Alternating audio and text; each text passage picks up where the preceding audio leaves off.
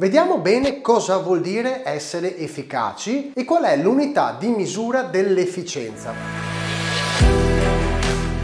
Innanzitutto è un rapporto tra un risultato ottenuto e quello che era un obiettivo. Facciamo un esempio pratico. Se io mi occupo di attività commerciale e mi prefigo l'obiettivo di fare 10 appuntamenti alla settimana, posso andare a vedere quanto efficace sono stato ed è il rapporto tra gli appuntamenti effettivamente eseguiti rispetto all'obiettivo. Ipotizziamo che questa settimana io abbia fatto 8 appuntamenti, 8 su 10 è l'80%, sono stato efficace per l'80%. Facciamo un esempio diverso, ipotizziamo che tu abbia un'attività, un'azienda di produzione che si pone l'obiettivo a fine giornata di aver prodotto mille pezzi. Mille pezzi è il tuo obiettivo, in realtà a fine giornata ne hai prodotti 900. Significa che hai un rapporto di efficacia del 90%. Ti è chiaro cosa significa efficacia? Quanto in percentuale ho raggiunto il mio obiettivo. In genere l'unità di misura appunto di confronto sono le quantità,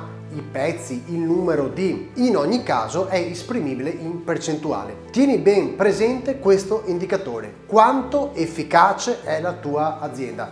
Quanto efficace è la tua organizzazione? Quanto efficace sei tu.